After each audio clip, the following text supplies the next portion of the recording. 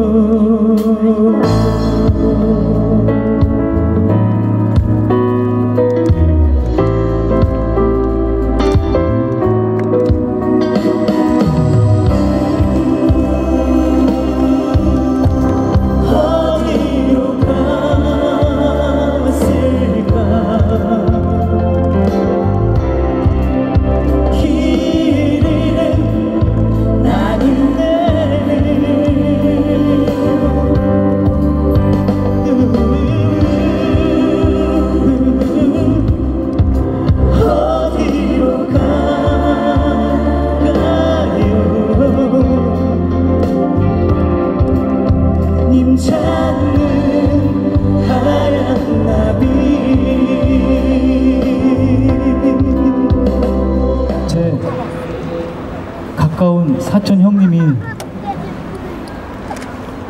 어, 저기 계신 것 같아서 늘 마음이 좀 그렇습니다.